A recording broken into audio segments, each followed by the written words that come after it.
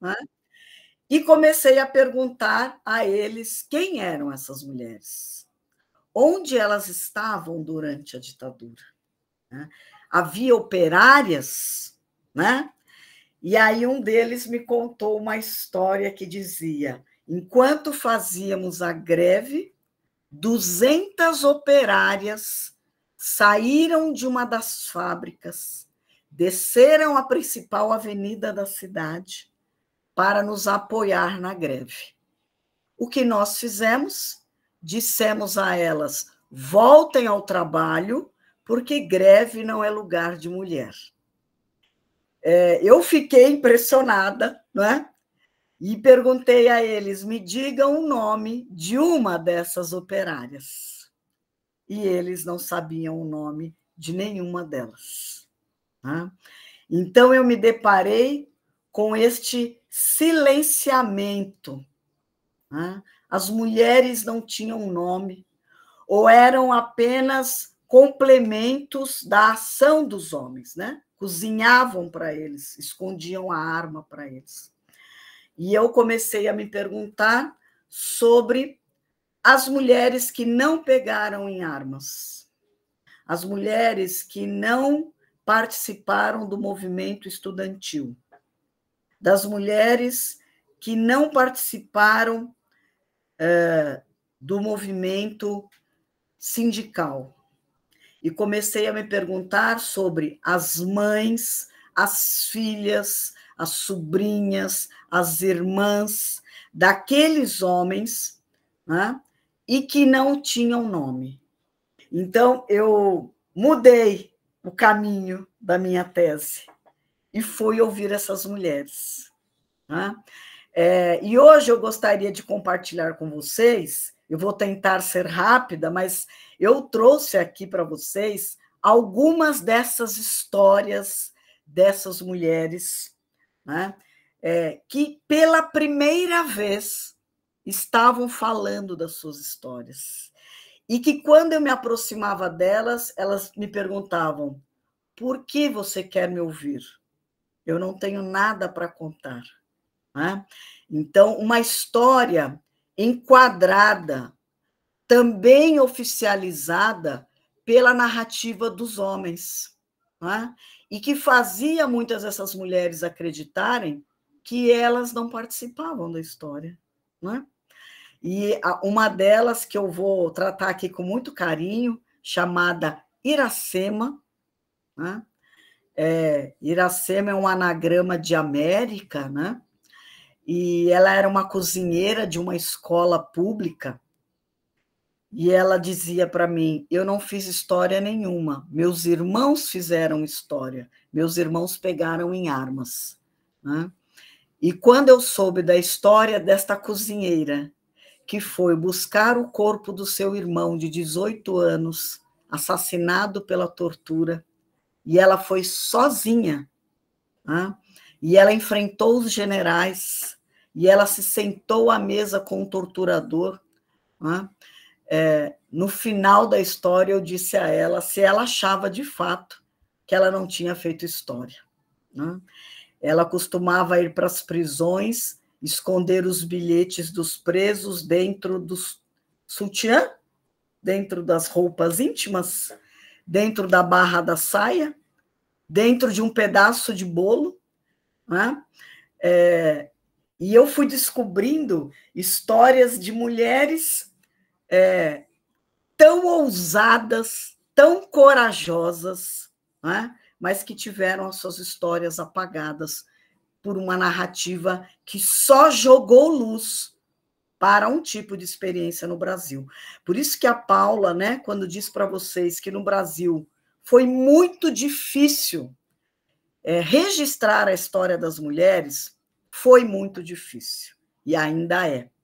Então eu vou pedir licença para vocês para mostrar alguns slides tá? para poder ilustrar melhor isso que eu quero dizer, tá? É, Paula, controla o meu tempo aí, tá bom? Eu vou tentar não não tomar muito tempo. Primeiro eu vou tentar acertar os slides, né? Eu vou aqui tentar compartilhar com vocês. Mientras voy haciendo un señalamiento. Cuando Marta habla de graves, son huelgas. Es una de las pocas palabras que no es tan transparente entre el portugués y el, y el español. Qual palavra? Graves. Aqui é huelga. Ah, que são as greves, né? Huelga. Huelgas. Huelgas. Ah, você vai traduzindo para mim. Sí, cualquier pregunta que, que, haya en ese sentido estoy, pero ah, vamos bien, eu creo. Estou acreditando que está tudo bem. Eu vou compartilhar aqui.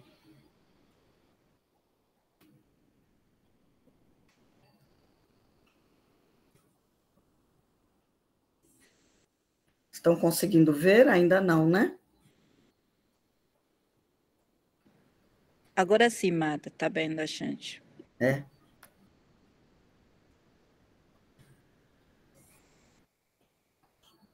Eu vou tentar ampliar, tá?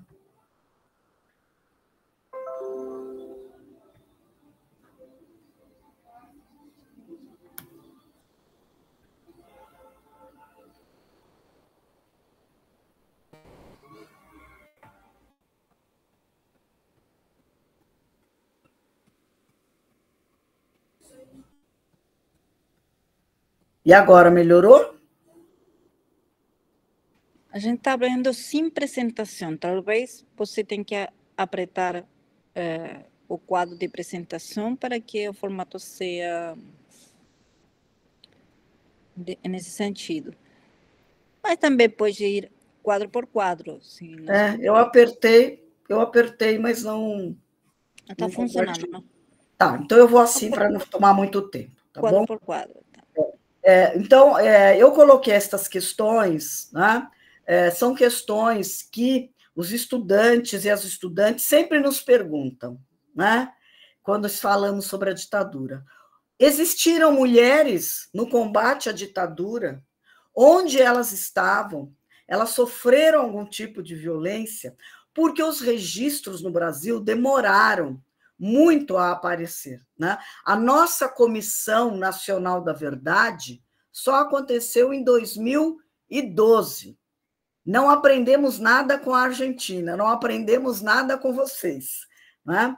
O Brasil teve a assinatura da anistia né, decretada pelos militares no ano de 1979, e ao decretarem esta anistia, houve no Brasil, e ainda há no Brasil, uma tentativa de apagamento das violências. Né? E a justificativa é a anistia, que volta no Brasil hoje, depois da tentativa de golpe em 8 de janeiro. Hoje mesmo, o, nosso presidente Lula fez uma fala muito infeliz, né, dizendo que ele não é, perderia tempo com o ressentimento da ditadura que ele está cuidando do futuro né? e não voltaria à questão da ditadura. Isso, para nós, foi muito grave vindo do presidente. Né? É, nós estamos às vésperas da data do golpe, né? no dia 31 de março, é, então nós encontramos ainda muita dificuldade para falar deste tema. Né? Então, quando se trata de mulheres, mais difícil ainda, né? Quando tratamos de mulheres, o que encontramos, é, em especial, são as histórias de mulheres é, atrizes, né, intelectuais, artistas, e demorou muito para que a gente tivesse um registro é, de mulheres que não, forem, não fossem exatamente de uma certa elite. Né? O primeiro livro a ser produzido no Brasil sobre a memória de mulheres foi o livro da Albertina Oliveira, é um livro que eu indico a vocês, que é, é, foi lançado no Brasil na década de 80, um livro que se chamava Memórias do Exílio e que só trazia narrativas masculinas de homens que lutaram na guerrilha. Em 1982, a Albertina Oliveira lançou este livro, Memória das Mulheres do exílio. É o primeiro livro no Brasil a tratar desta temática e que trazia a temática é, de mulheres envolvidas na guerrilha e que foram exiladas. Né? No Brasil também há este problema, né? É, quando se fala de mulheres, elas normalmente são necessariamente ligadas à guerrilha. Né? E muitas vezes há uma figura masculinizada da mulher. Né? Um outro livro é, que tratou da questão da guerrilha no Brasil, e não só da guerrilha, mas que vai ampliar né, o papel da mulher no Brasil e também no Cone Sul, é o livro da da historiadora Joana Maria Pedro e da historiadora Cristina Wolff, né? Gênero, Feminismos e Ditaduras no Cone Sul, que também é um trabalho que lida com a história oral, mas não apenas com a história oral, mas também com o cinema, com as artes, né? E fica aqui uma, uma dica deste livro extremamente importante. Né? Mas no Brasil, é, nós temos muito pouco a discussão da participação das mulheres nos movimentos sociais durante a ditadura, é? mas há trabalhos que indicam que as, mulher, as mulheres chegaram a ser 18% na participação dos grupos guerrilheiros, é? e 20% delas lutou na guerrilha do Araguaia, né, que é uma das principais guerrilhas que aconteceu no norte do país. Durante muito tempo, esta guerrilha foi apagada da memória no Brasil e, com ela, a participação das mulheres. Né? O que se construiu no Brasil foi a imagem. É, quando lembradas de uma mulher subversiva, de uma mulher masculinizada, de uma mulher perigosa, porque enlouquecida, porque ligada às drogas, porque enganada pelos homens. Né? Então, durante muito tempo, a imagem que se tinha da mulher que resistiu à, ditadura era uma mulher é, fora dos padrões, era uma mulher criminosa, né? É, lá, que roubava bancos, né? que, que assassinava né? é, pessoas do bem. Né? Então, é, são histórias é, de mulheres, por exemplo, é, que não são vistas como mulheres que tiveram que abrir mão da maternidade, que tiveram que abrir mão dos seus filhos, mulheres que amaram, mulheres é, que se dedicaram, é, inclusive aos homens, é, mas sempre uma visão negativada, né, em negativo, é, da participação delas na nossa história. É? Aqui nós temos a imagem de algumas mulheres é, que fazem parte hoje é, do que a gente chama de desaparecidas, né, mas assassinadas pela ditadura. Né? O Brasil tem hoje 476 pessoas consideradas é, desaparecidas. Né? É, esta imagem também é de uma mulher muito conhecida, chamada Dilma Rousseff, né, que foi nossa presidenta, e que eu trouxe aqui né, para mostrar é, como a eleição dela no Brasil promoveu uma visão extremamente negativada. Né?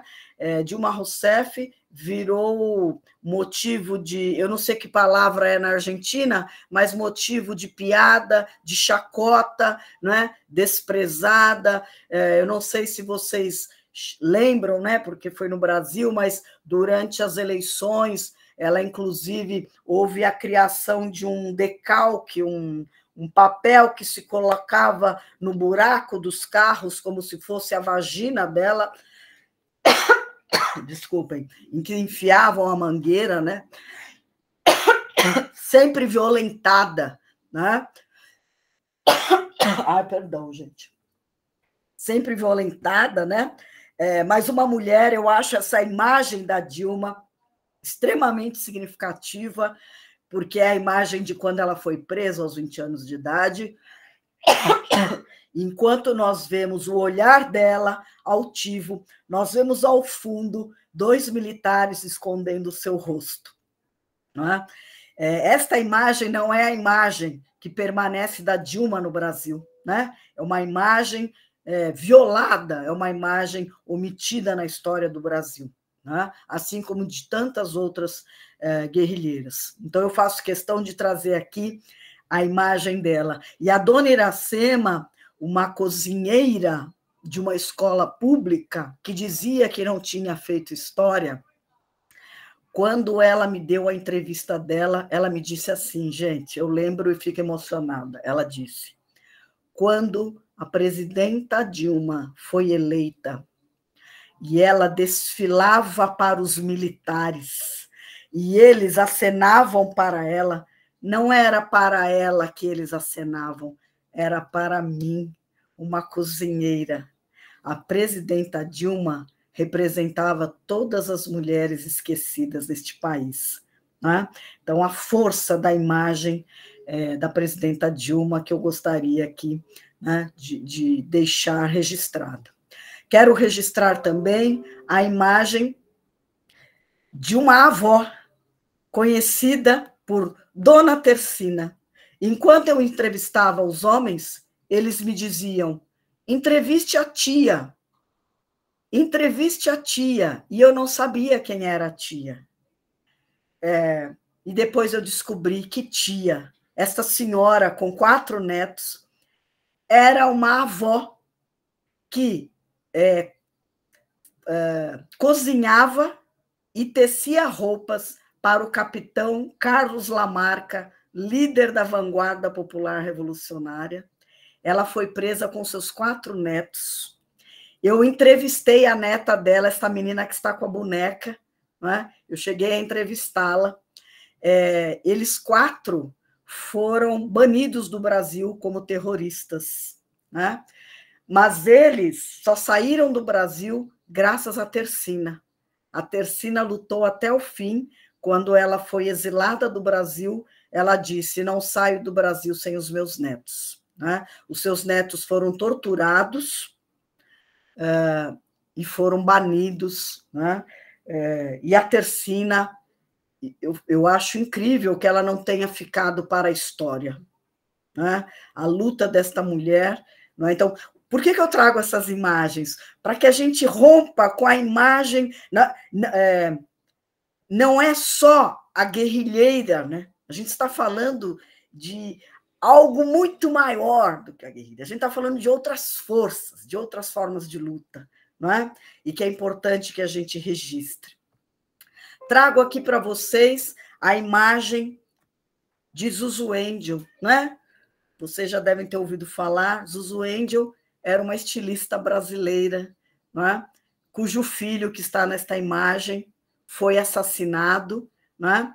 É, e ela, uma mulher riquíssima, a favor da ditadura, mas que é transformada pela luta do seu filho. E que, vendo seu filho desaparecido, transforma a sua profissão numa denúncia internacional. E ela, então, é, produz nas suas roupas para a elite do mundo né, é, a denúncia da ditadura brasileira. Não é? Ela tece nas suas roupas as imagens da violência.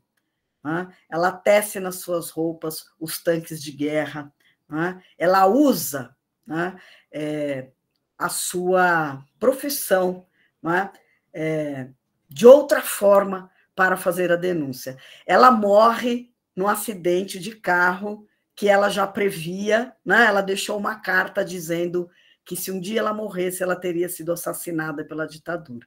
Né? Mas é, que outras estratégias, né? É, essas mulheres criaram. Mostro aqui Lélia Gonzalez. Lélia Gonzalez, eu não sei se na Argentina vocês conhecem o trabalho dela, esquecida durante anos no Brasil, uma historiadora e filósofa negra brasileira, é, participante do movimento negro brasileiro.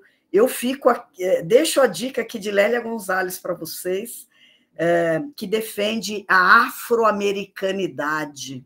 Né? As mulheres negras brasileiras também foram apagadas da história.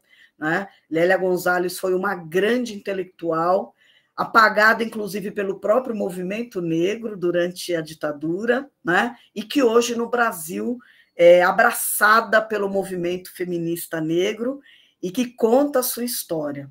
Né? Uma mulher que lutou bravamente contra a ditadura e que não teve reconhecida sua história no Brasil. Eu, eu, sugiro que vocês, por favor, né, leiam. Né? Ela participou aqui né, do Movimento Negro Unificado. E, e digo aqui também, deixo aqui, né, a, como leitura, se quiserem, o livro que lancei, né? Este livro é, que se chama A Greve no Masculino e no Feminino, é, traz na capa a imagem dessas mulheres que eu fui ouvir, né? As mães, né? É, as irmãs, as sobrinhas. Trago aqui a imagem de, alguma, de algumas delas, né? Dona Albertina, foi a mulher responsável por cuidar das mães, das, das esposas, das filhas, recolhia as, as mulheres para fazer comida, para alimentar os operários, para mobilizar os, os vizinhos. Né? Dona Albertina, uma grande inspiração. Né? É, trago aqui Sônia Miranda, não é, com a sua filha. Sônia Miranda conta uma, uma, uma bela história de que ela era mulher de um guerrilheiro e toda vez que ela teve quatro filhos, toda vez que ela ia para o hospital ter o filho, o marido estava na guerrilha. Então ela teve quatro filhos sozinha, né? E esta esta filha que aparece ao lado dela chama-se Liberdade, não porque ela tivesse escolhido, mas porque de madrugada os guerrilheiros entraram no hospital e disseram a ela: o nome da sua filha será Liberdade. E a questão dela era: liberdade porque se eu, como mulher, estou presa? É? Eu quero que a minha filha chame Denise, não liberdade. Porque naquele momento é, ela revela uma história de uma mulher esquecida. É? Quatro vezes, gente, quatro vezes sozinha. Ela dizia que os médicos e as enfermeiras já conheciam ela. É? Então, é, a, a, ela nunca foi ouvida, não é? É ouvida agora quando ela diz, então, do abandono dela, é, que guerrilheira, né, que guerrilha era essa que a abandonou com seus quatro filhos, né? Então, uma outra dor, uma outra história que também precisa ser registrada. E aqui eu vou começar a, ter, né, a encerrar, porque não, acho que já passei muito do tempo, mas aqui né, registro a história das, das mulheres operárias ainda a ser escrita no Brasil, né, e trago aqui, para terminar, algumas táticas dessas mulheres é? que me contaram sobre as suas histórias, mulheres que tiveram que se recriar para sobreviver à ditadura. É? Então, é, eu vou, vou contar, vou, vou, narrar, são trechos de narrativas delas. Né? Então, uma delas, a Mira Ibrahim, que foi irmã de um guerrilheiro famoso, José Ibrahim, ela me diz assim: os militares vigiavam a minha casa. E aí eles começaram a ficar na minha casa. Dia e noite, a gente não podia sair. Quer dizer, podia sair, mas tinha sempre alguém de vigia. Ficaram 40 dias tomando conta da minha casa para ver se ele, o Ibrahim, voltava. A gente oferecia até café para os filhos da mãe, para não dizer outro nome. A gente achou melhor fazer amizade do que deixar eles de lado. Eu trago essa história delas porque foi graças ao café que elas ofereciam aos militares na porta de casa que elas impediram que eles entrassem na casa, né? que permitia a elas esconder os guerrilheiros. E depois elas foram tomar café dentro das delegacias com os delegados. E elas diziam: o nosso corpo era um corpo feminino, e o corpo feminino só era lido de duas formas: ou como mãe, ou como corpo desejável. E assim a gente foi para as delegacias, como corpo desejável e como mãe, né? sentar com os delegados, tomar café com eles, para arrancar informações sobre os homens, para poder levar notícias às famílias, para poder trazer notícias das famílias para os presos. Né? E aí elas, elas me contam, vou, tinha muita história, mas eu vou pular porque eu não quero mais tomar o tempo, mas eu vou só só uma última história que elas contam. Né? Elas contam assim.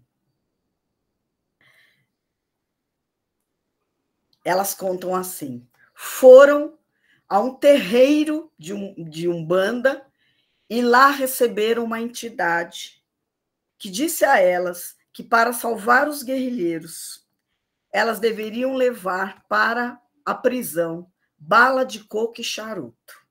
E deveriam, na porta das prisões e do delegado, fazer um trabalho. Então, elas me narram assim: é, tia e irmã do, sobrinha e irmã do José Ibrahim. O doutor Pimenta mandou a gente levar bala de coco e pimenta no DOPS, né, na delegacia. Minha filha era um tal de jogar balinha para lá, pimenta para cá. A gente encheu aquele DOPS de bala de coco, pimenta e charuto, menina. Aquele cheiro de charuto. Teve uma vez que a minha tia foi para um canto e eu pensei, Vou colocar na porta do delegado. Menina, eu dei um jeito. Sabe aqueles elevadores antigos? Tinha uma escada. Fui lá para a escada, perto da porta do delegado. A gente fazia cada doideira, mas olha, vou te contar uma coisa, é verdade. Pode perguntar para minha tia Mira.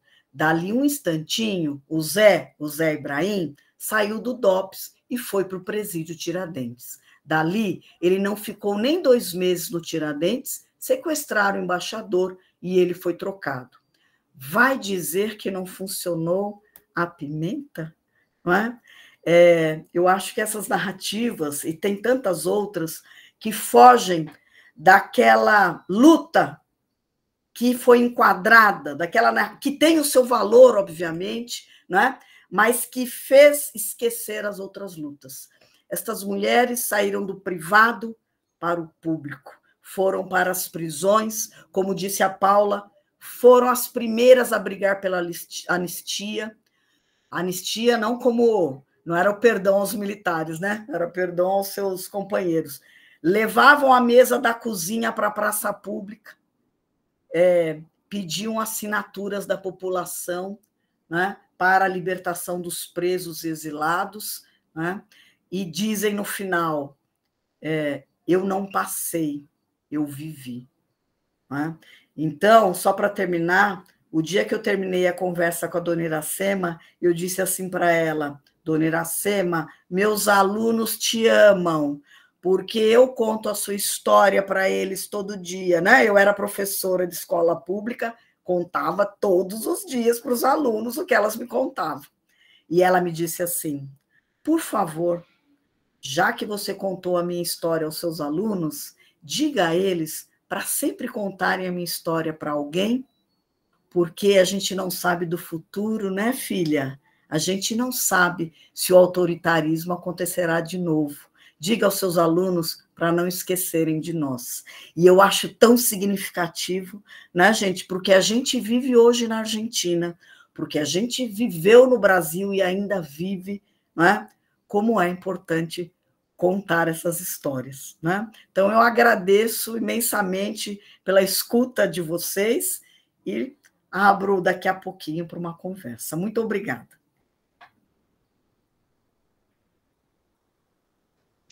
Bueno, Marta, nosotros te agradecemos, nosotros y nosotros te agradecemos tu conocimiento, tu sensibilidad y la historia de Doña Iracema, porque porque nos recuerda que el autoritarismo tiene muchos estadios y, se presenta con muchas ropas, dirían en portugués. Em, así que bueno, ahora vamos a contar con, con el trabajo, el esfuerzo, yo sé, hablamos justo en, vacaciones, su cumpleaños y tal, pero, pero decididamente quiso estar, hablo de Mercedes Robituso y, contar que, que, es parte de esta experiencia que nos estamos dando en el programa de género de poder invitar a profesoras, profesores de Brasil para dialogar también con el trabajo que se está haciendo en UNIPE. Y en este primer ensayo estoy gustosa de presentarles a Mercedes, que es doctora en filosofía, es profesora en el área de filosofía contemporánea de la universidad, y Filosofía Política en la Universidad Nacional de San Martín. Es investigadora asistente del CONICET y sus temas de investigación abordan el problema de la imagen, el mito y la relación entre la estética y la política en la contemporaneidad. Es especialista y traductora de la obra del filósofo italiano Giorgio Agamben, no sé si lo dije bien, y Furio Chelsea.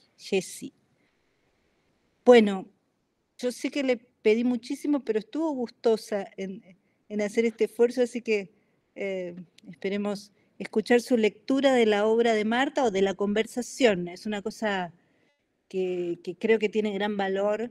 En la academia no tanto, pero nosotros sabemos que sí, que es el hecho de conversar. Así que, Mercedes, bienvenida. Bueno, ¿qué tal? ¿Me escuchan? Eh, bueno, primero, eh, gracias a vos, Paula, por, invitarme a esta charla con, con Marta eh, Robay, que no conocía sus trabajos y la verdad que fue, es una oportunidad preciosa para mí, para mi trabajo.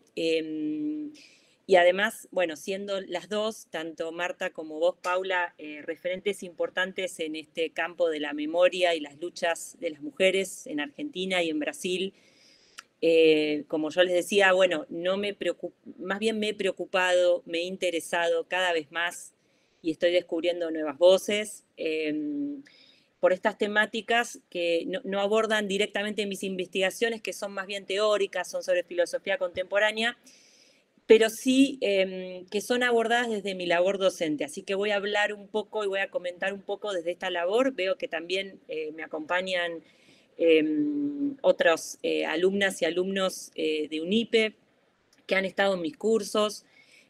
Aquí mismo en, algunos seminarios sobre lecturas de teorías feministas, eh, en un grupo de investigación también que aborda cuestiones del feminismo, cuestiones, eh, bueno, de la filosofía italiana, de Agamben, de Furio Iesi, como decías, y también em, desde la participación en un grupo de extensión que es coordinado por Anabela Dipego y Paula Giacobone, también dos filósofas, que reconstruyen y difunden justamente, eh, tratando de replicar algo que vos comentabas, Marta, eh, reconstruyen historias de vida de mujeres que fueron víctimas eh, del terrorismo de Estado en Argentina, que específicamente pertenecían a la carrera de filosofía en la Universidad de La Plata, una universidad muy cercana a la UNIPE, y que tenemos más bien eh, preocupaciones no solo teóricas, no solo metodológicas, sino también, por así decir,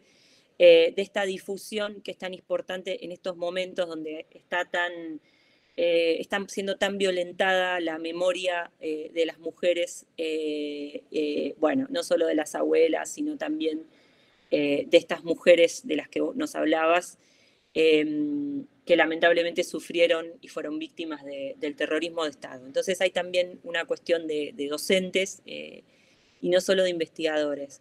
Em, bueno, mis preguntas y mis reflexiones eh, tienen que ver con este enorme trabajo de Marta que estoy descubriendo, em, que tiene que ver también con estas experiencias de docencia que están en proceso, que compartimos con muchos de los que están aquí también, de los que están aquí.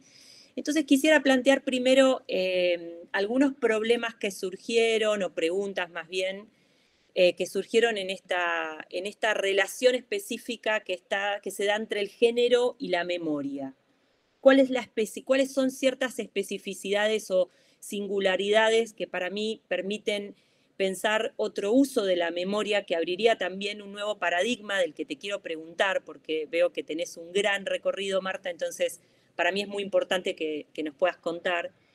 Una de ellas, una de estas eh, notas de este, que para mí es un nuevo paradigma eh, para hacer historia también, o filosofía, es que plantea en principio otra forma de violencia hacia las mujeres. O sea, se, surge de otra forma de violencia hacia las mujeres eh, que tiene que ver con una pregunta por una memoria en disputa, de un pasado muy reciente que tanto en Argentina como en Brasil está cargado de violencia, que implica estudiar periodos autoritarios donde se cometieron abusos, violaciones a los derechos humanos, y que, eh, al menos en Argentina, hasta hace muy poco, implicaba enfrentar y ponerle nombre a una serie de violencias que no tenían un nombre definido, ni siquiera a nivel jurídico, tampoco a nivel político, tampoco a nivel afectivo, que un poco vos comentabas, eran todavía un relato íntimo que circulaba, ¿no?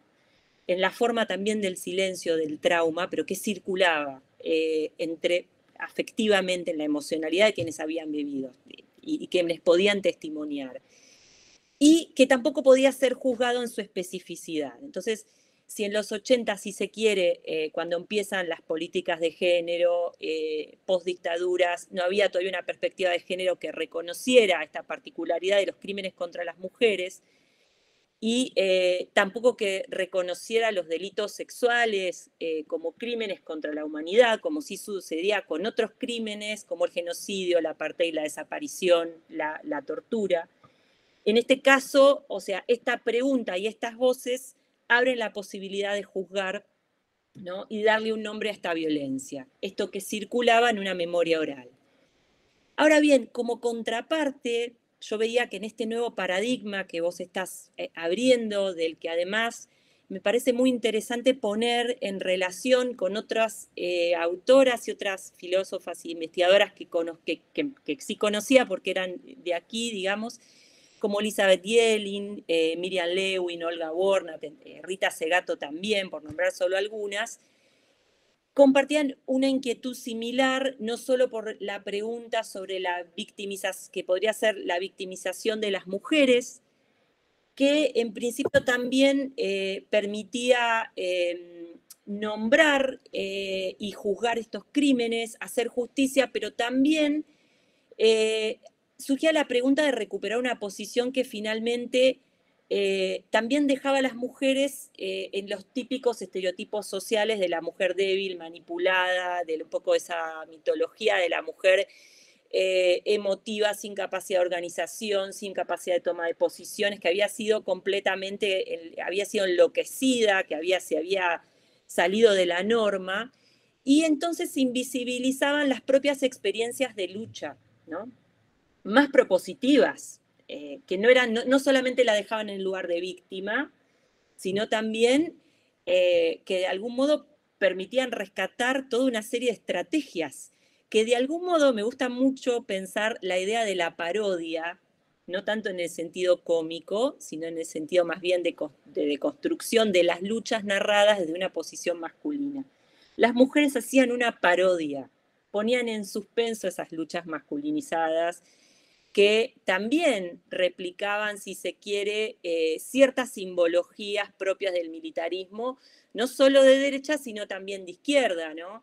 Ciertos estereotipos de género que tenían que ver con la lucha en términos de hazaña, eh, esas hazañas de la masculinidad, con, eh, y, que, este, bueno, hacían toda una, también un relato de lo que era la militancia, de lo que debía ser la militancia, ¿no? Entonces hay una cuestión también, creo, de parodia eh, en esas luchas silenciosas menos protocolares, menos ideológicas, más disruptivas en algún punto, en muchos casos, porque justamente parodiaban ciertos estereotipos de género que replicaba tanto la derecha como la izquierda al interior de las organizaciones y de las que ellas, digamos, en algún punto vuelven a aparecer como una, una potencia muy disruptiva, ¿no? En esa forma, que no solo las coloca como víctimas, sino también como actoras de esas propias luchas.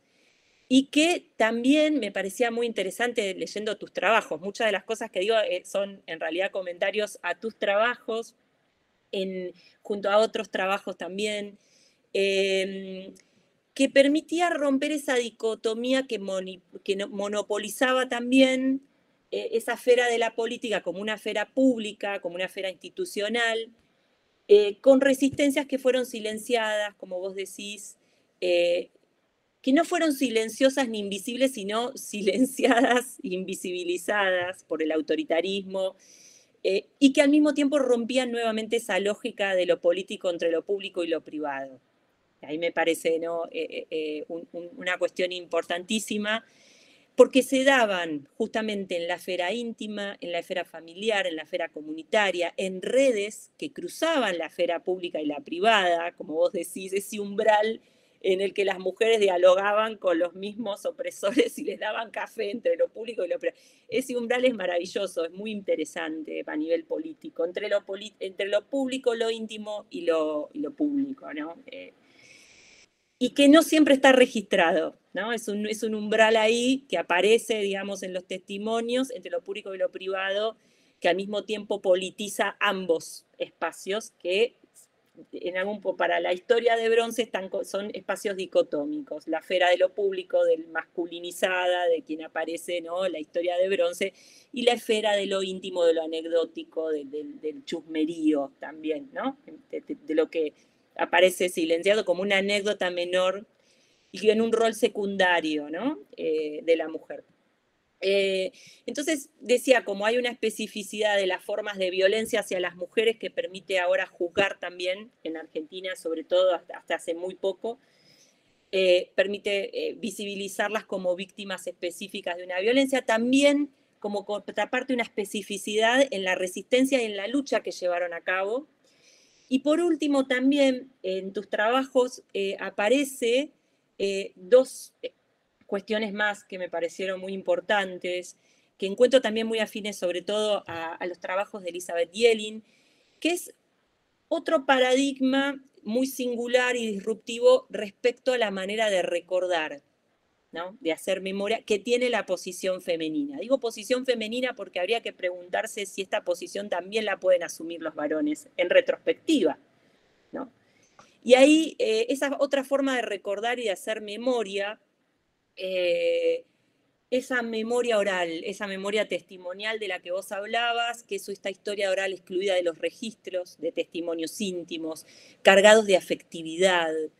Eh, eso que Yelin decía, memorias narrativas, es decir, es decir, esos relatos activos, intersubjetivos, en diálogo, cargados de emociones, cargados de afectividad, de una carga además presente, eh, muy importante, donde además hay un recuerdo muy diferente de lo que fueron las luchas y las resistencias respecto a lo que se le pide que relate la posición masculina, que suele ser más sintética, que suele ser más situada en las posiciones de poder, en las grandes gestas, que se le pide también realizar. Eh, y eh, me parecía que ahí aparecía otro paradigma de vinculación que es también político y que paradójicamente da cuenta nuevamente de esa politicidad de lo doméstico algo que parece en principio desde el punto de vista tradicional una contradicción. Si es político, no es doméstico, ¿no? O esfera pública o esfera privada, que era otro uso de lo doméstico, otro uso de habitar esos vínculos, otro uso de habitar los vínculos de maternidad, los vínculos de pareja. Eh, toda la afectividad cargada de, una dimensión política diferente. Creo que nos interpela muchísimo eso eh, en tus trabajos que no son más, no son anécdotas, ¿no? No son solo anécdotas, son, diría, relatos de la politicidad de lo cotidiano, de formas alternativas, disruptivas frente a estas divisiones de género dominantes, frente a estas formas también de organización de la militancia política y, sindical al interior. Eh, bueno, tu, obra es enorme, igual que la de Paula, creo que ahí, eh, bueno, han podido reconstruir ese otro paradigma. Em, como último punto sobre esto que, es mucho más que, una, que anécdotas, que es mucho más que me parece que recuperar una historia no contada, una historia que complementa la historia de bronce, la historia que ya conocemos de lo que debería entrar ¿no? Eh, en, las gestas. Em, me parece que es mucho más, que es un paradigma muy potente que nos interpela y que no solamente eh, va hacia eh, eh, la cuestión de juzgar el pasado, sino también nos interpela en el presente, sobre todo con esta politicidad de lo cotidiano que nos puede interpelar en la actualidad. Y ahí me parecía también volver sobre el cruce entre biografía como historia singular, la historia de la singularidad, y la historia esa, esa, gran pregunta entre biografía e historia, que implica ese relato de historias de vidas singulares que parece en sí misma una revuelta, que en sí misma retrata algo colectivo porque pone, eh, parodia al mismo tiempo simbologías del poder dominante, las pone en suspenso, les da otro uso, un uso además que no entra dentro de las estrategias que se suponía que debían entrar para hacer la revolución o que se suponía que debían entrar eh, por cuestiones ideológicas, sino que son más bien una suspensión de simbologías mucho más potentes del poder. Por eso están cargadas de politicidad y no son solo anécdotas de cómo la vecina tal o la otra escondió armas o se las arregló. Es mucho más que eh, una anécdota de lo que hacían estas mujeres y mucho más interesante, me parece, incluso de lo que aparecen en los relatos masculinizados de la lucha o de lo que pide el relato, ¿no? podríamos llamar el mandato narrativo de lo que se supone una gesta masculina.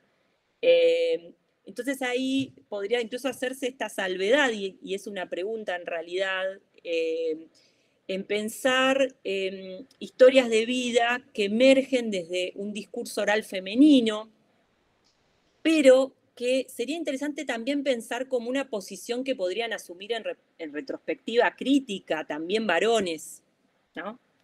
Y que abriría entonces otras preguntas que abriría otras preguntas respecto de las resistencias más allá de la lógica estratégica del combate, que parecía ser en los relatos la forma dominante, ¿no? en esos relatos propios de lo masculino. Buscar esos otros esos relatos también deben existir en alguna voz masculina que se salga, ¿no? De algún modo, de lo que se le pide, que tiene que contar que debía ser la hazaña, que tenía que, bueno, ¿qué hacían esos padres? ¿Cómo, no? digo porque no es solamente las mujeres. Esa parodia que encarnan las mujeres tiene que también, de algún modo, cuestionar qué pasaba en esa esfera que era habitada por, bueno, que, estaba llena de, digamos, de, simbologías de la lucha, de lo que debía esperarse, de las estrategias. Y digo revuelta un poco pensando pensando ese, ese espacio como justamente un espacio de lucha que va mucho más allá de las estrategias de la revolución, ¿no? Haciendo esa distinción, si se quiere, que, eh, que me parece interesante. O sea, una revuelta, una suspensión del tiempo y de las simbologías que se le pedían a los militantes, tanto del lado de la derecha, como vos decías, que hacía su propia parodia de la mujer militante, como de la izquierda. ¿no? cómo deconstruir esas ambas, que en algún punto se espejan, ¿no? Porque en algún punto también pedía la mujer que debía eh, entrar en política, vos en algunos trabajos lo relatás muy bien, debía masculinizarse, debía de algún modo parodiar ¿no? una posición masculina para, para poder acceder a, y no ser sexualizada. Eh, o no ser vista como una madre este, alocada que estaba desviada, etcétera, etcétera. ¿no? Entonces, en algún punto ahí eh, creo que se espejaban esas, e, esas, esas, imágenes, esas simbologías de la lucha y, la mujer hacía otra cosa. ¿no? Eh, es muy interesante eh, cómo vos reconstruiste esa, esa, en esa singularidad, en esos gestos, esa parodia de, que, estaba cruzada, digamos, por el género, ¿no? por los estereotipos de género. Em, bueno, en, algún punto, digamos, mi pregunta iba por ahí, por esta, esta otra forma de esta forma de violencia sobre la mujer, que al mismo tiempo como contraparte es otra forma de resistencia y de lucha, que al mismo tiempo es otra forma de la memoria, del relato oral, que dice otras cosas, que politiza lo cotidiano de otra manera, que no es simplemente una anécdota, y que finalmente permite eh, reconstruir un paradigma de la historia que no solamente dice algo más de lo que no se dijo, sino que también es un paradigma positivo y político y que interpela eh, el presente. Em, eh, en este punto entonces em, hay una, creo que sí hay, hay en tu obra una riqueza enorme una gestualidad política impresionante, el esfuerzo por recuperar esas voces, eh, esa memoria oral invisibilizada por esa historia de bronce masculinizada, que es un paradigma abierto, ¿no? que es la posibilidad para mujeres y varones, en retrospectiva, de preguntarse también por esa politización de lo cotidiano, de lo doméstico, eh, de esas esferas que tradicionalmente se encuentran separadas y que que bueno, eh, justamente lo femenino un poco rompe, ¿no? En ese umbral que vos decías, que me gustó muchísimo la anécdota del café, ¿no? Entre, entre la casa, la intimidad de la casa y cómo se politizaba ese umbral. Eh, bueno, por último, em, bueno, hay muchas cosas. Un último punto que a mí es también algo que me conmovió, diría, eh, me conmovió en particular, que es un último punto que ya no tiene que ver tanto con el objeto de estudio, cómo nos sino que también va más por el lado de una cuestión ético-política, que es también otra forma de escucha. O sea, si esto es un paradigma para hacer historia o para hacer filosofía o para pensar el presente en relación al pasado reciente, también hay otra forma de escucha que vos situás muy bien en tus trabajos, que es una escucha específica que implica esa perspectiva de género que es muy diferente a, lo que se pide de la historia, por así decir, más academicista, que está centrada en conocimientos objetivos de las fuentes, en métodos, en protocolos de investigación, porque es la recuperación de una memoria narrativa oral que implica además una modificación de sí mismo y de la escucha. me gustaría que un poco si nos podés contar creo que un poco lo contaste de todas maneras, cómo incluso empezó en tu propia biografía esa pregunta con el encuentro de estas otras voces que no aparecían y cómo vos tuviste que modificar también tu, trabajo y tu tesis, y eh, que tenía que ver con qué se consideraba relevante para la historia pública, ¿no? qué se consideraba relevante y qué no, y cómo aparecían estas voces relegadas, silenciadas, más plurales, eh, que aparecían en los relatos de mujeres, pero al mismo tiempo cómo eso modificó lo que se esperaba de tu trabajo, ¿no? Porque suponía además un interés, una voluntad de escucha de algo que no podía aparecer así nomás en una tesis de doctorado, por ejemplo, y que también eh, necesitaba de cierta tonalidad afectiva de tu parte, porque eh, se tenía que dar lugar de manera muy respetuosa a todo un entramado de silencios dolorosos, traumáticos, eh, que no tenían ni siquiera del trauma justamente lo que no puede ser expresado.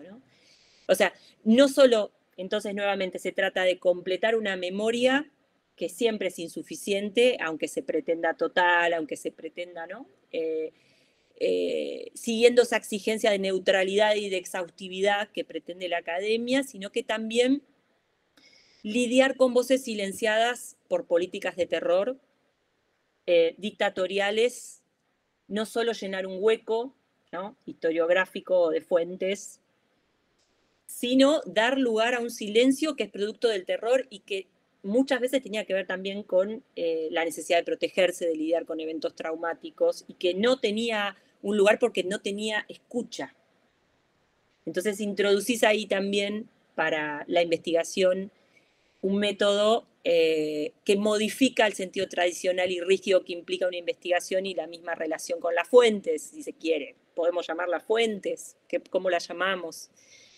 Eh, a esas voces silenciadas y esta dimensión afectiva que implica, eh, que es muy diferente, que implica preguntarse Em, y que creo que no entra simplemente en lo que en los protocolos llaman cuestiones éticas, que desborda un poco también esa cosa de lo ético, de cuando, como si pudiéramos hacer, eh, construir un método que fuera un instrumento para eh, pensar esas, esas forclusiones de la historia, ¿no?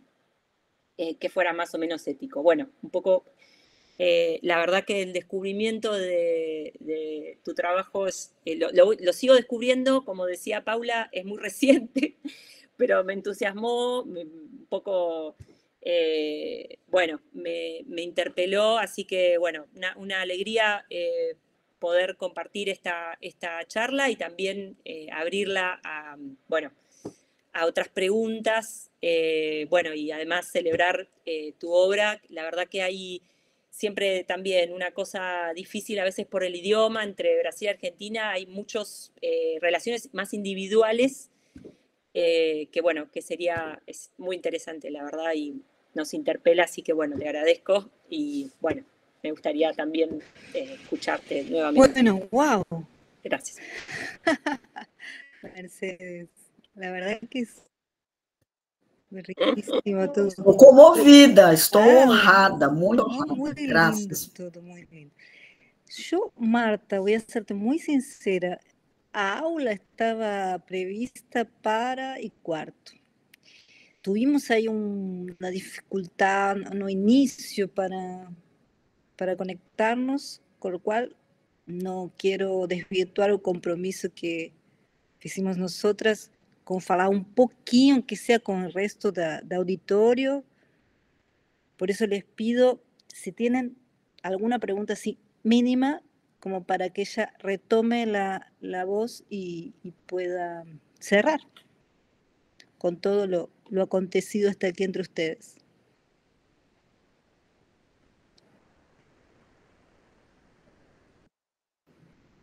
María.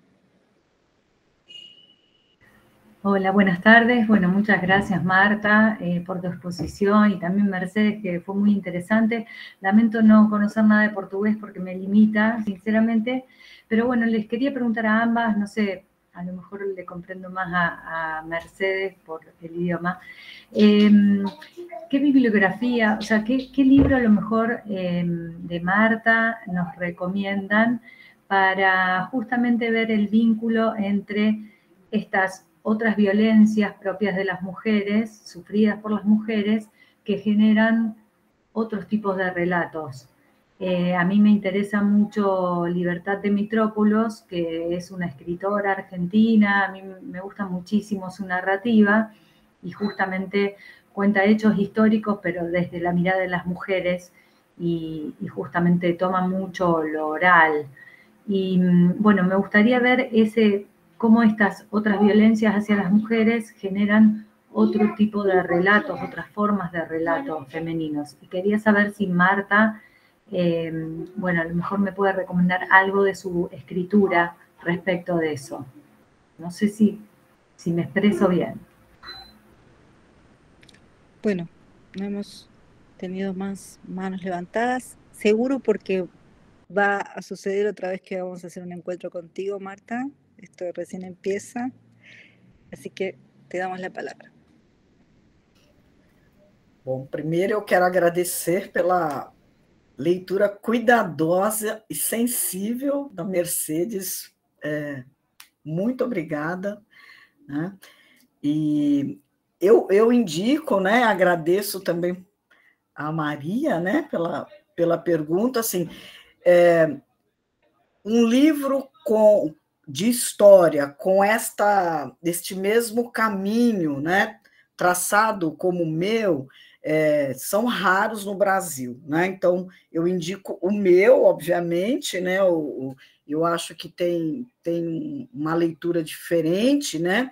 E há uma historiadora chamada Maria Cláudia Badan, que tem um trabalho belíssimo, é, muito parecido é, com o meu. Ela, ela trabalhou com as mães de guerrilheiros, né, é, de uma organização chamada ALN, né, Ação Libertadora Nacional.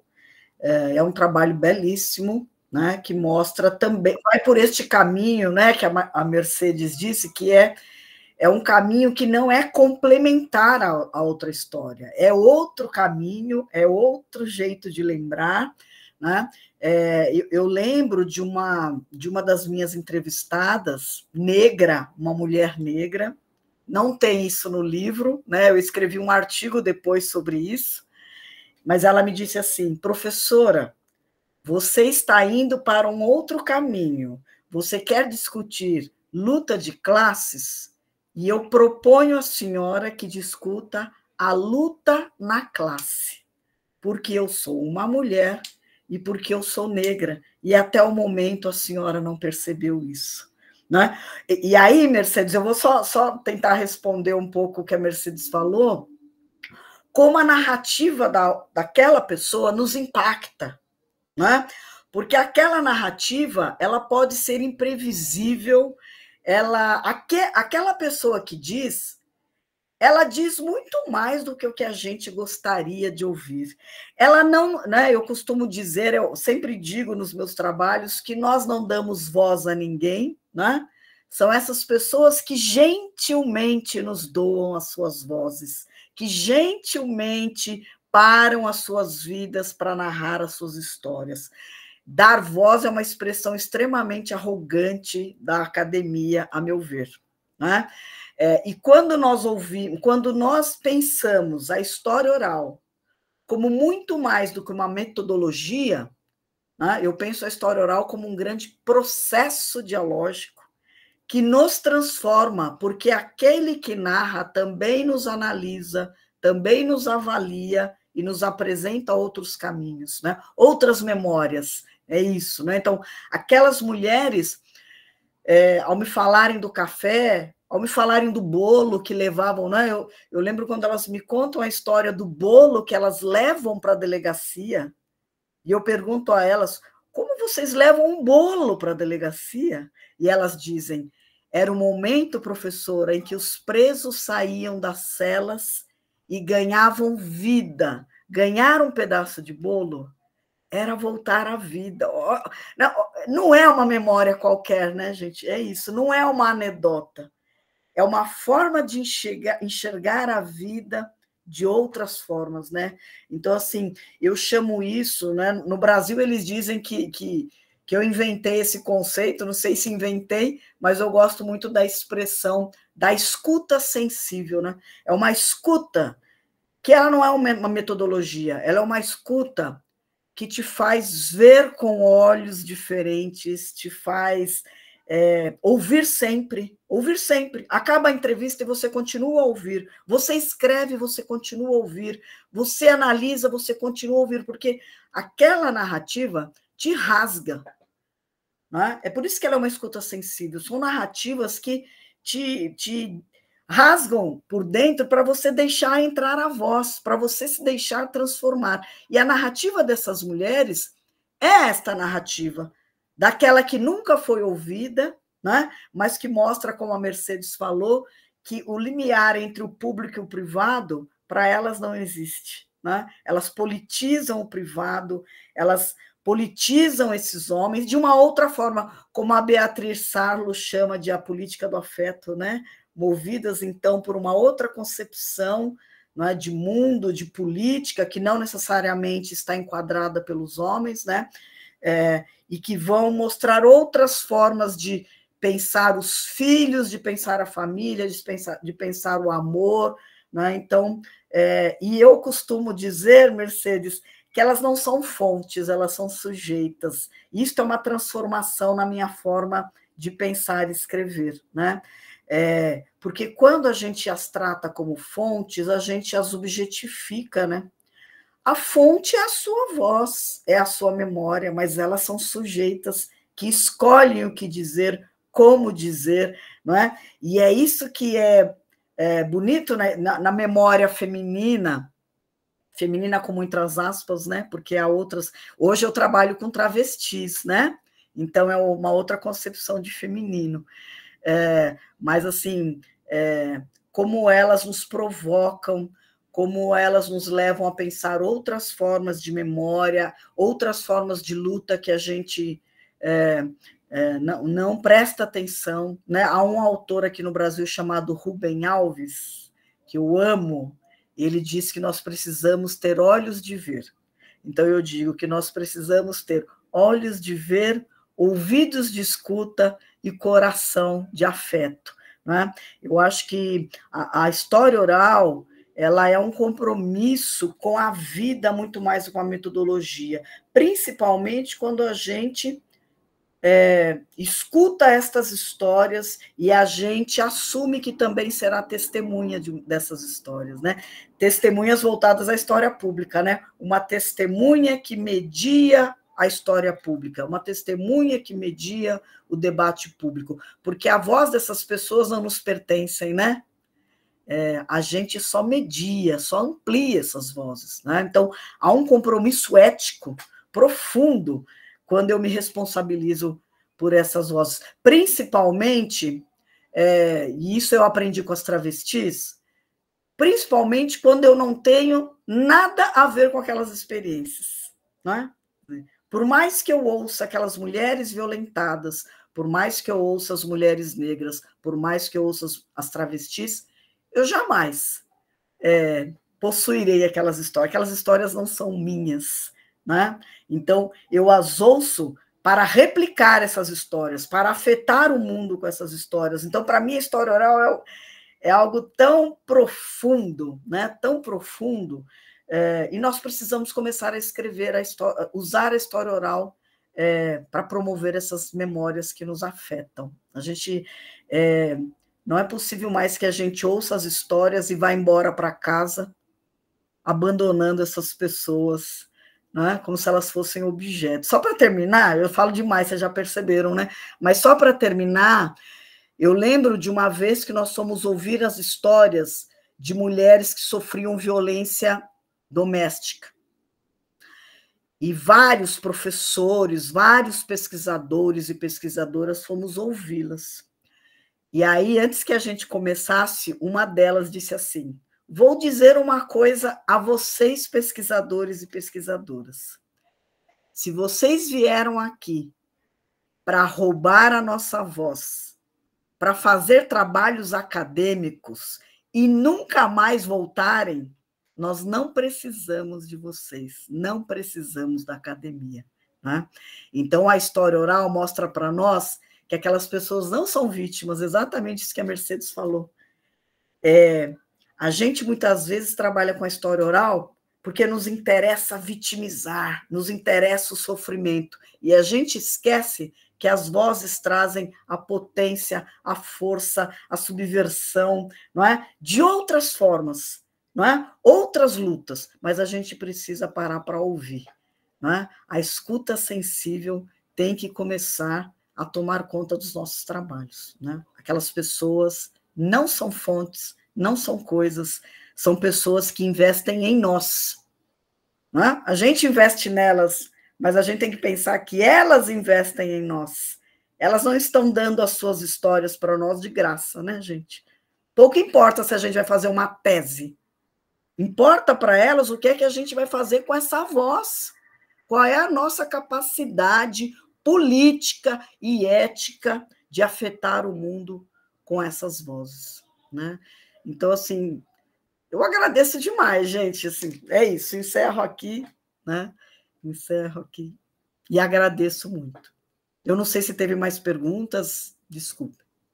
Bueno, Bella, ya verás que acá este, tenés colegas que van a seguir haciendo puentes contigo, como, como me pasó a mí. Y sí, varias de, las profesoras, de las eh, personas que están en la audiencia, preguntan por un nombre que vos diste para poder eh, buscarlo. El nombre de María, la Claudia Bad. ¿Querés escribirlo? ¿Lo ves? Escrevo, para escribirlo? Ela foi, a Maria Cláudia Badan foi esposa de um guerrilheiro é, muito famoso no Brasil, né? E ela, ele faleceu há pouco tempo. Maria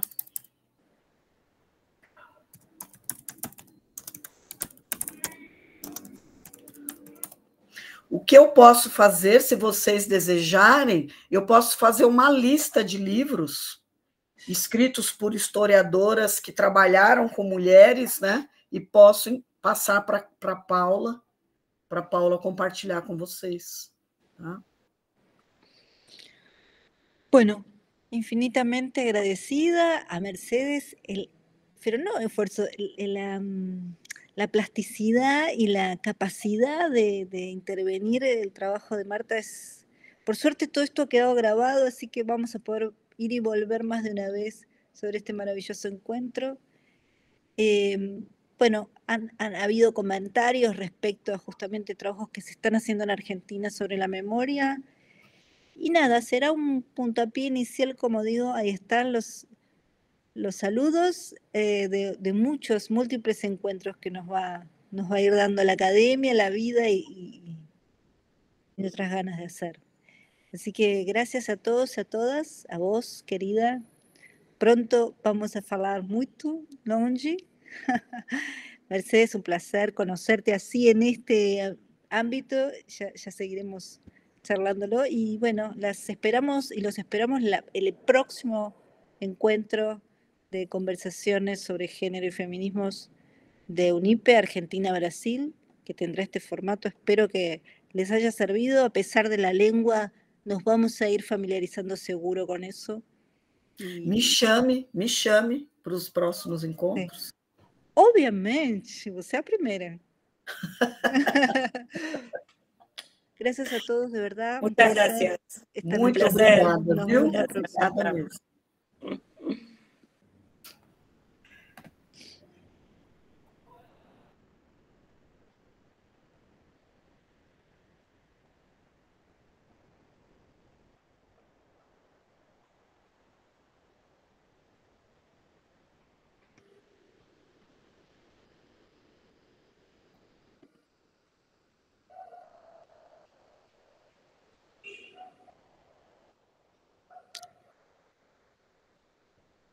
mientras la gente se va acomodando, eh, las sala 10 Unipe.